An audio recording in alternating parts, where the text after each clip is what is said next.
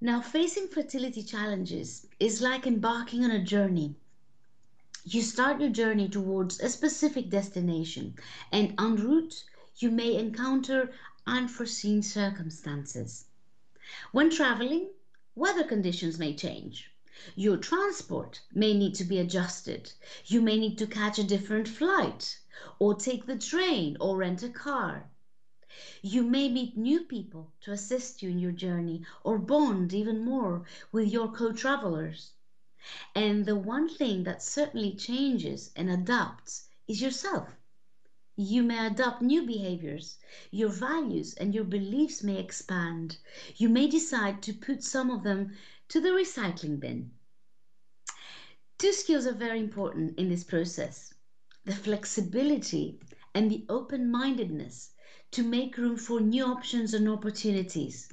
And at the same time, identifying and staying true to the bigger picture of your goal.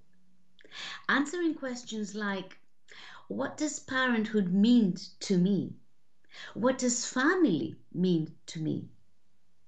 With In Vivo Fertility, have a structured way of inquiring and building the flexibility and re- resilience necessary in the progression of decision making and coming to terms with alternatives.